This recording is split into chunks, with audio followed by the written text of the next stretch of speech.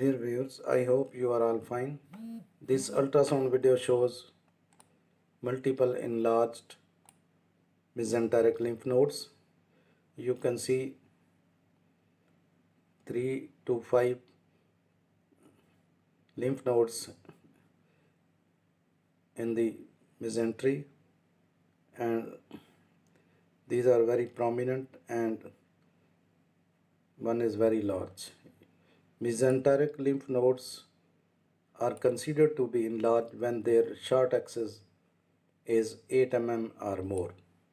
A normal young adult contains up to 550 lymph nodes of which about 60 to 70 are found in the head and neck, 100 in the thorax and as many as 250 in the abdomen and pelvis.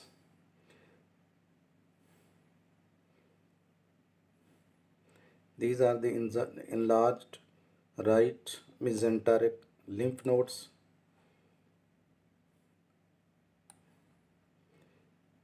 Mesenteric lymphadenitis is an inflammation of lymph nodes. The mesenteric lymph nodes which become infected, inflamed are in a membrane that attaches the intestine to the abdominal walls that is mesentery and this lymph node is more than 13 millimeter into more than 11 millimeter.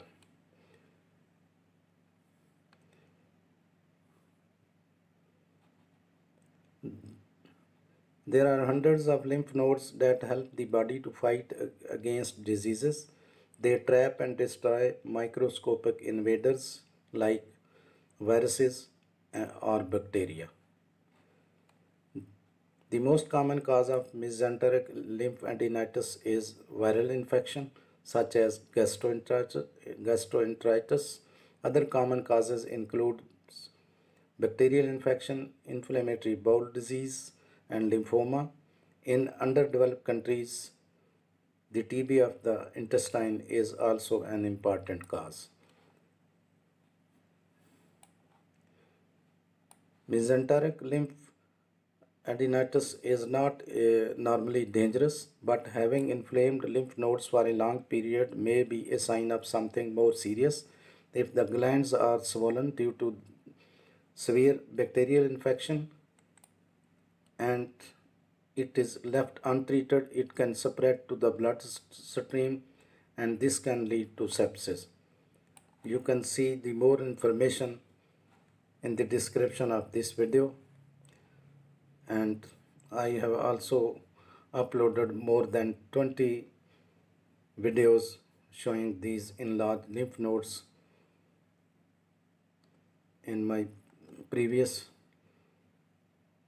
videos. You can find out these videos. Thanks for watching. Please subscribe my channel. If you do like this video please click the like button. Thanks